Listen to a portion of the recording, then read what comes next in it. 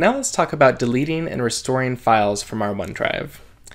If I did choose to sync my files, and I open those up inside of File Explorer, and I delete Annual Financial Report here from File Explorer, it warns me when I do it through this method that the file that I delete is going to be available for 93 days from my OneDrive recycle bin, but it does not delete to your computer's recycle bin, so keep that in mind even though you're syncing files locally, they're still cloud-based. So it's going to go to the cloud recycle bin.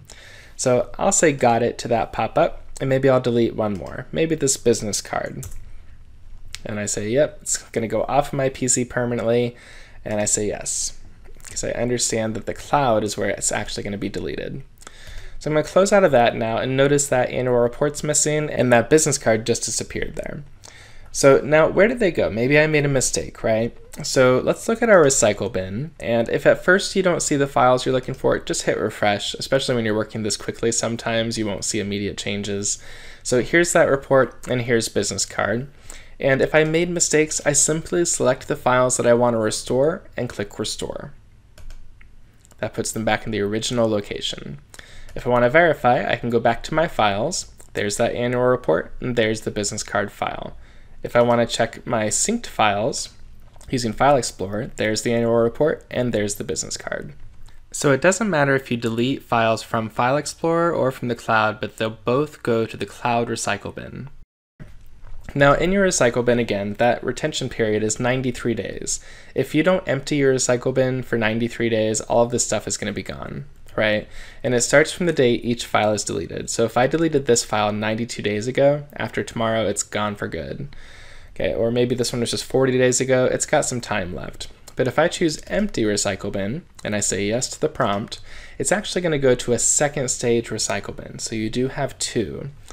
So if I look at my second stage recycle bin, which I can see a link to down here, this is my last chance to restore these files if I want to keep them. So let's say, you know, I do. If I select a couple files and I hit restore, they actually go back to the original location. They're not going to go back to the first stage. So if I do delete them again at some point, the 93 days starts over.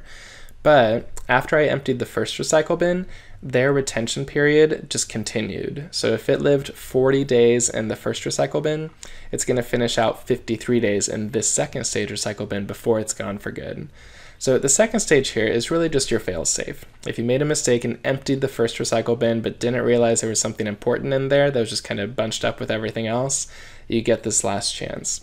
But from here, if you do choose to empty the second stage recycle bin, everything here is gone for good. So it's very hard to get back after that point. You'd have to put in a ticket with Microsoft and cross your fingers. so uh, with this stuff, uh, I will go ahead and leave it all in here because I don't really need to restore anything. If I did want to delete everything, I could just select all and delete. If I wanted to restore everything, select all and restore. Now let's talk about how folders and versions work.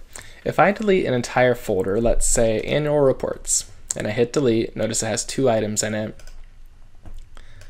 I say yes, I'm sure, and I go check out my recycle bin. I might have to hit refresh again. There we go.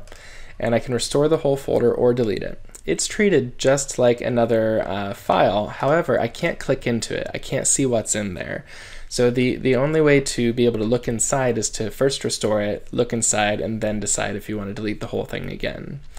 So there's just one kind of setback there with folders. And then versions, let's say you have a file with a bunch of versions in it, and we've talked about this already in the past version history, uh, and let's say you found a version that you need to delete because maybe it has sensitive information in it. So I'm going to choose that version, choose delete version, and just remember that was version 6, so now I have 5 and 7 there. I go check my recycle bin, hit refresh again, and now I've got annual financial report draft, and I just know that it's the sixth because, well, I just deleted it.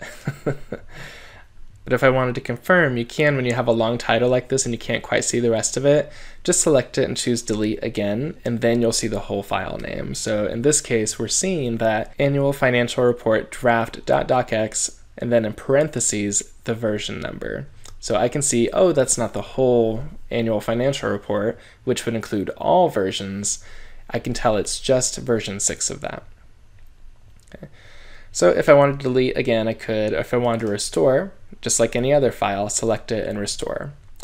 Now, uh, with versioning in mind, if you do delete a file, all the versions go with it. So if it had 20 versions, those are all deleted in one file. When you restore it, it retains all that version history. So you don't have to worry about losing that if you do happen to delete and choose to restore.